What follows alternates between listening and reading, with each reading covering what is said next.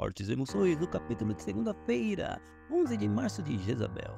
Baruch e Hannibal discutem. Casias fica chocado com a revelação que Barzillai lhe faz sobre a encomenda de sua morte. Hannibal diz que agiu a mando da rainha. Jezabel confirma a versão de Hannibal e Acasias decreta a morte imediata de Barzillai e Baruch. Os sentenciados reagem e todos se enfrentam com espadas. Saulo dá a vida por Barzillai. O general desarma Acasias e Hannibal, vencendo assim o embate.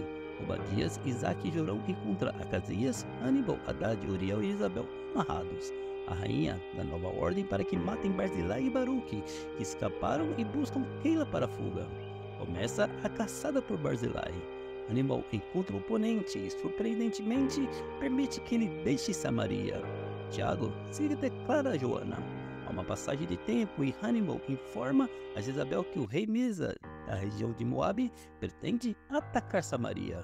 Jorão é designado a viajar a Moabe para tentar um arriscado acordo verbal. Acasias agoniza após cair de uma sacada do palácio. Isabel sofre.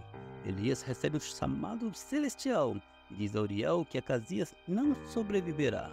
Isabel ordena que entregue Elias a ela para que o mate com suas próprias mãos. Acasias organiza no, no leito. Isabel diz a Hannibal que o livra da morte se lhe entregar a Elias. A rainha acorda de um delírio e recebe uma carta de Keila. Nela, a verdade sobre a morte de Hailama e a paternidade de Baruch é revelada.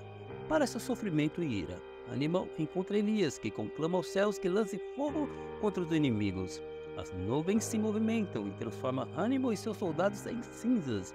Isabel, Uriel Haddad se preocupa com a demora da comitiva. A rainha manda Haddad e 50 homens ao encontro do general. As chances de Acasias sobreviver diminuem. O pelotão de Haddad para sobre as cinzas de Hannibal, sem ciência do que há no solo. E intima Elias, o profeta faz novo apelo ao céu, que com mais fogo transforma o grupo em cinzas. Uriel conta a Casias que perto de Elias há apenas cinzas.